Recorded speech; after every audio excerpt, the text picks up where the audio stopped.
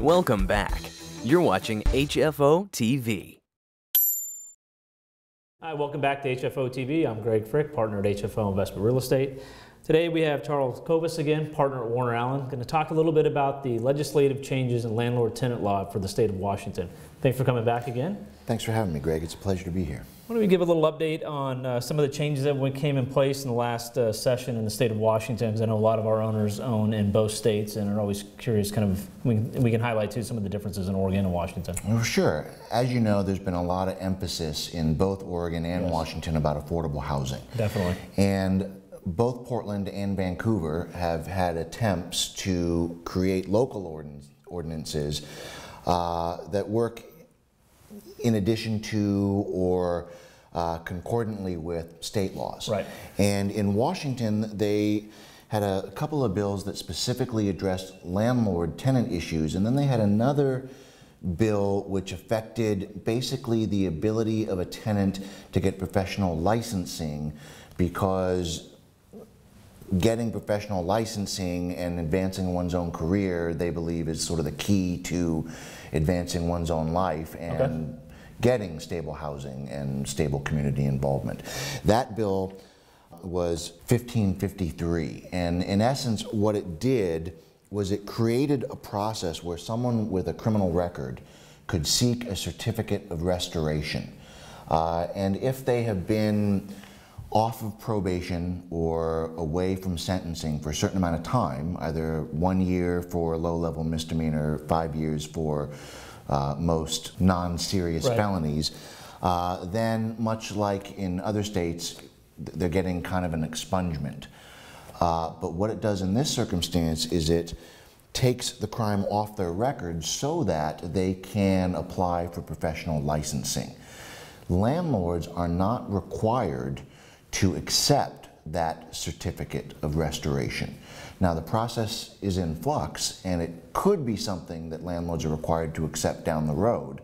But at the moment, the process is just, just to help people clear the decks Got to it. move forward uh, with their own professional endeavors. So would that be on their record? Or so if a landlord runs a criminal check, is it off their record or is it shows that it's expunged or they're moving forward to get it taken off? Well, my understanding is short of expungement. It still exists okay. on their record, okay. but they have this certificate of restoration. Got it which is in essence that intermediary step. Right. And again, it's to, to, allow them to get professional licensing and move forward in their career so that they can then become more stable right. on other fronts, professionally, personally, uh, within the community and so forth. So is that, from a Washington owner standpoint, is that going to limit uh, you know, being able to say we're not taking, you know, felons of certain classes, or is that? In the short run, no. And I've got the okay. bill in front of me. It specifically provides uh, that landlords are not required to accept the certificate of restoration. Got it. Okay, so you could still have that as a requirement or a hurdle that had to be crossed, you know, having a clean record or having a non-felon uh, as a tenant, so to speak, as a way to deny tenants. That's right. Got it. The other changes were much more direct uh, towards landlord-tenant rules. Uh, first, in Washington, they extended the time frame for sending a final accounting from 14 days to 21 days. So when your tenant moves out, you need to go through your ledger, figure out how right. much of their security deposit you have, if you have a first and last month's rent, or any other funds belonging to the tenant. And under the old law, within 14 days, you needed to send that final accounting by first class mail to the tenant. To the tenant, to their last known address or to any forwarding address. The change is that that's been extended to 21 days. So that really is a benefit to the landlord. Right. Now, to be clear, if the damages go up, you know, you've just gotten the premises back, you get in there, you're able to take some of the siding off and find out that there's a problem. Well, you can still go to court and say, in between the time we sent the final accounting and in between the time we get before the judge, we've discovered additional damages. That doesn't change.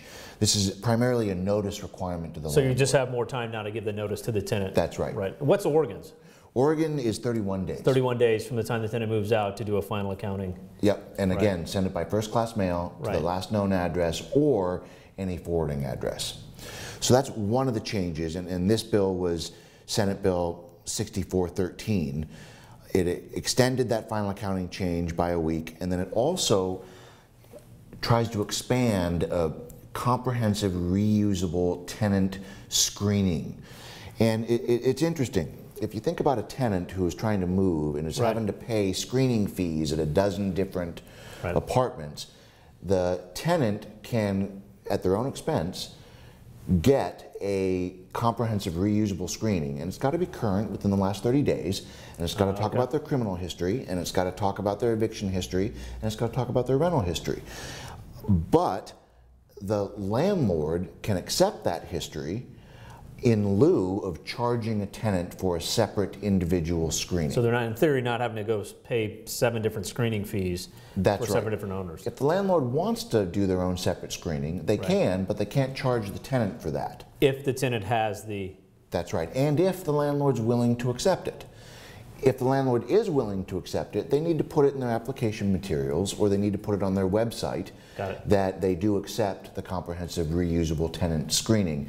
And again, the purpose here is that it be portable and it help tenants not have to suffer right, the multiple cost. screening fees for multiple buildings. That's right. Interesting, okay. Is there something like that in Oregon? No. No. No, it, generally, this is the first time I've come across it, but then again, these are the only two states I'm licensed in. Right. So. And isn't the state of Washington have a source of income protection? I know that's been in Oregon. That didn't that come in this last uh, session as well? That's right. That's one of the new changes. The state of Washington has established the source of income as kind of what we call a protected class. Got it. So normally, a landlord will say there needs to be a certain amount of income ratio to the rent. Right, to qualify. That's right. So, for example, if the rent's $1,000 a month, the tenant needs to make $3,000 a month Exactly. in order to qualify.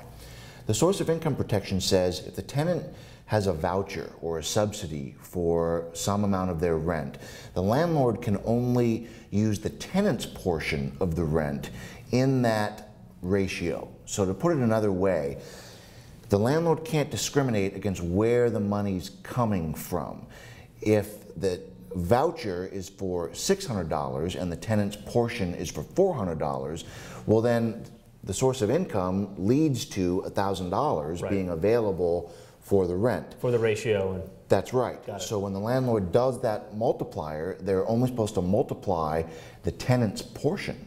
So if they normally do Got three it. to one, and now the tenant's portion is only four hundred dollars, well, the tenant only needs to make twelve hundred dollars To qualify. To qualify. Got it. So this is designed to bring Washington uh, into agreement with many of the other Western states that also protects against source of income discrimination and make it clear that low-income tenants have the ability to qualify uh, for places they can afford regardless of where the money's coming right, based on some assistance they have, that part gets pulled out of the rent and we're only qualifying on what tenant themselves are having to pay. That's right. Right. Interesting, okay. Uh, the, the last change would limit certain eviction records from being discoverable, or not necessarily discoverable, but from being the types of eviction records that a tenant can be denied for. So in some cases, in uh, Clark County in particular, we'll have a situation where the tenant comes to the landlord after a case has started and comes to a settlement agreement, and then the tenancy is reinstated. Okay. Or you have a situation where somehow, I don't know exactly how it would work because the statute's written after the fact, but it reads as if it's determined that the case was brought in bad faith or wasn't a credible case. In either of those two circumstances, bad faith case or the tenancy was reinstated, the tenant can get an order limiting the disclosure of that eviction record. So just a curiosity on how that works, the tenant gets that order, is that going to the, does it go to the agency that's producing the criminal record? I mean, how does, does he walk around with his order saying, I would suspect, you yeah. pulled my, you pulled my credit report and you pulled my, you know, criminal history, I have an eviction, but oh, here's an order that, you know, Why I would suspect, yeah, Huh, that they okay. would have to have that order. Because again, when we're talking about the difference between these types of orders and an expungement, Right. if something's expunged, it's just not there. You don't see it at all. That's right. You call your screening company and they say, I'm not seeing a conviction in 2013. So I would suspect that here it still exists, but it either won't be disclosed or if it is disclosed, the tenant has to show that order that limits uh, that order from being used As a denial, tenant. is it? Correct. Yes. So the landlord's going to have, is not going to have the uh, ability with that order to make a judgment, oh, he has that, you know, it's- it's now off his record, but I still want to deny for that. He's going to have to find other reasons or, I mean, gives more protection to that tenant, I'd imagine, who has that on there. It does. And the other thing is, a lot of times tenants are in a situation where they feel like they don't have many options. Right. And I think both of these changes, whether or not you are limiting certain bad faith prior evictions, if that finding has been made, Right.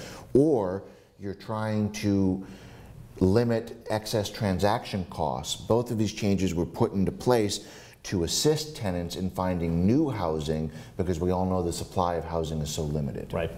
I guess a question of this out of, in terms of if you've heard, you know, down in California, they're talking about, you know, limiting the amount of things a landlord can use in terms of criminal background uh, because it's discriminatory in certain classes. Is that something you're seeing up here as a push to where we've got tenant groups saying we don't want, you know, the landlord to be limited to certain types of crimes that can be used as, Certainly in Oregon, that's the case. Yeah. In Oregon, certain felonies that are more than five years old can't be used At all. At all. But if it's a sex crime or a crime that is attendant to the landlord tenancy, for example, I don't know, someone drove Property their damage, car right. into a parking spot and destroyed the overhang, uh, those types of felonies could be used against the tenant.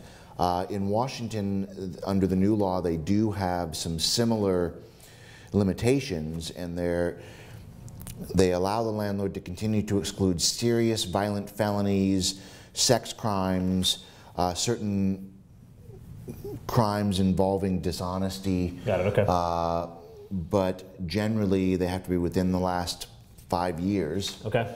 Uh, and generally, again, the tenant can get this order limiting dissemination of those records, or in the professional context, get that certificate of restoration, which I would fully expect in the next few years may be something that landlords are asked to consider as a mandatory requirement as well. Right, is that, if you have that restoration certificate, that's going to That's right. override anything that's on the, on the background check in terms of what it's related to. And we would assume that that would happen eh, because one of the real problems here is all these rules that are being put in place really don't do a lot to increase the availability of affordable housing. They don't create more units. No. And one of the things they do is they create more transaction costs for the landlords, more hoops to, for the landlords to jump through. Right. And that may be contributing to the increase in rents that we're seeing across the board all over the area. Right, Unfortunately, we're going to have to wait and see how that happens. how it plays out. Right. Well, we, you know, we've talked about it with other groups as well. It's, you know, you can address, you can address the, if you don't address the supply side um, in terms of getting new product, I mean, that's, you know, it's economics, you know, supply and demand, and we're always dealing with the, uh, you know, the demand side issues and, you know, transaction costs and things, like that, which is great.